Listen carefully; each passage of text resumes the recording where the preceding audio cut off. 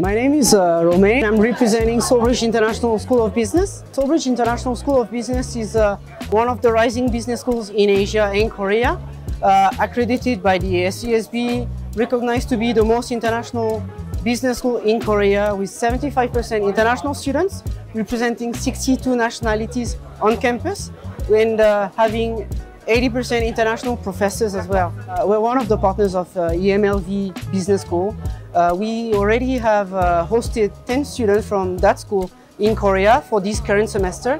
So they're studying mainly business management and we uh, offer them courses in finance, international marketing, entrepreneurship. So at Solbridge International School of Business, every semester, students get to choose between 60 English taught courses. It depends on just the students to decide which course they like. There is no restriction or condition for us as a school to approve the, the, the course. There is a very vibrant, very strong uh, culture and um, campus life.